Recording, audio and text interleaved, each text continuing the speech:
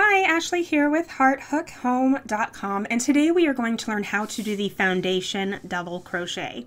We've already learned how to do the foundation single crochet and the foundation half double crochet. This is very similar. We are going to do an extra yarn over for that double and when we start this is going to be our first chain right here and then we're going to work our way this way. While you are working your foundation rows, it looks like you're going straight up instead of across. But then when you start row two, you'll turn it regular to where this is the top of your stitches and these are the bottom of your stitches. So let's get started. You're going to start with a slip knot like normal. Insert your hook and chain two. The chain two is going to be the side of your first stitch.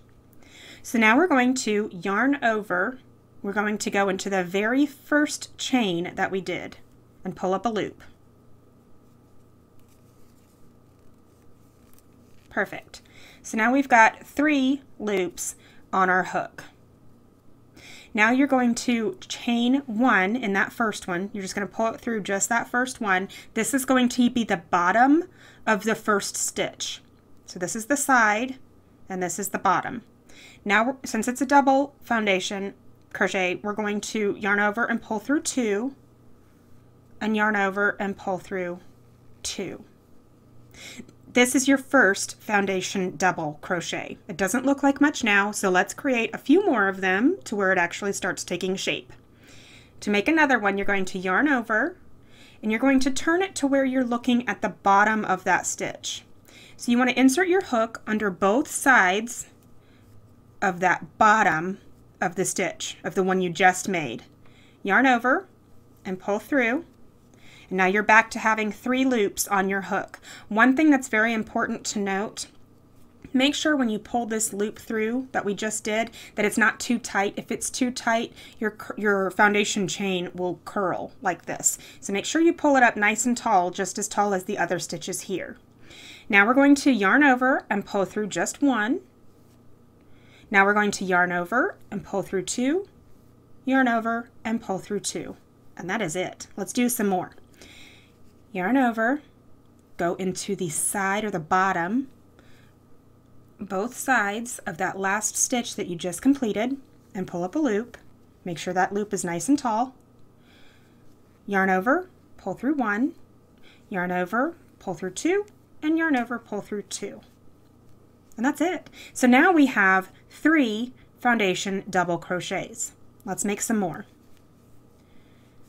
Insert into both sides of that V from the previous stitch, pull up a loop, make it nice and tall, yarn over, pull through just one, that's the bottom of the stitch, yarn over, pull through two, yarn over, pull through two. Same thing, both sides, pull up that stitch nice and tall,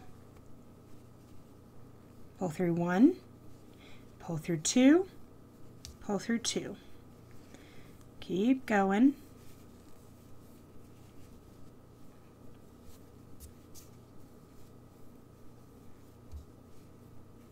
And then when we're done with this one here, we're going to start a new row so that you can tell how to start your second row.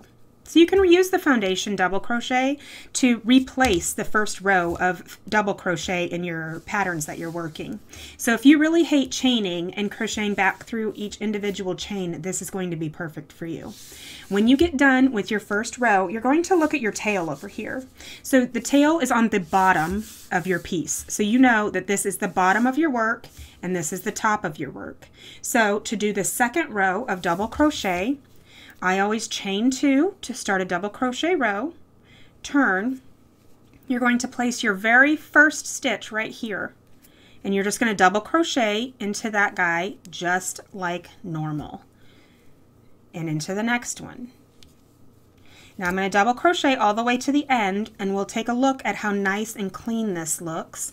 I find that it makes my beginning of projects go a lot faster because I'm not chaining and feeling like I have to go back through, especially when you're doing a blanket that has several hundred chains. No thank you, ma'am.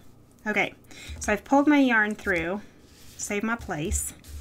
So here we are we've got one, two, three, four, five, six, seven. One, two, three, four, five, six, seven. Perfect.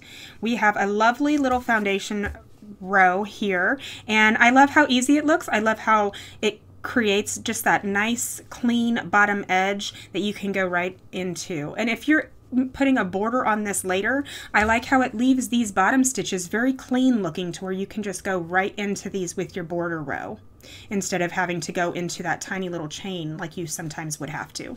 So I hope you enjoy doing the foundation double crochet and I hope this helps in your crocheting adventures. We'll see you next time. Thanks for watching.